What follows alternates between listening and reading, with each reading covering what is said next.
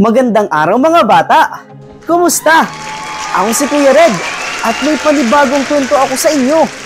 Ang pamagat nito, Bunti at Babli. Kwento ni Sorit Gupto mula sa Let's Read Up. Tara na, mamati na, ikaw ang ako pagpiliya. Pabati kita kahit istorya, samit tayong nakabaraka. A story time, mag-enjoy good kita.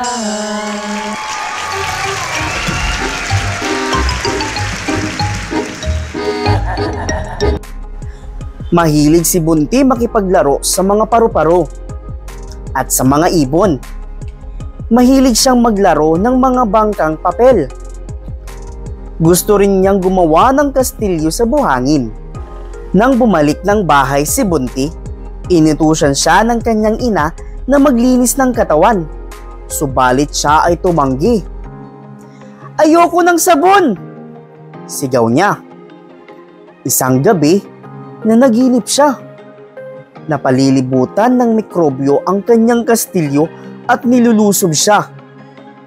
Hinabol ng mikrobyo si Bunti. Patakbo siyang sumisigaw para iligtas ang sarili. Tulong! Tulong! Biglang lumitaw ang haring sabon na si Babli. Bunti! Huwag kang matakot! Wika niya. Sugurin ang mga mikrobyo!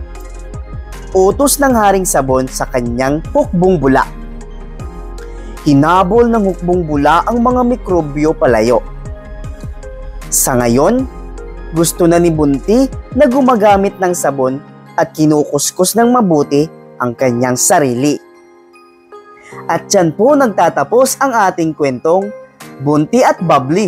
Mga bata, matututunan natin mula sa kwento na dapat tayo ay naglilinis ng ating katawan upang hindi tayo dapuan ng mga mikrobyo at mapalayo tayo sa anumang sakit.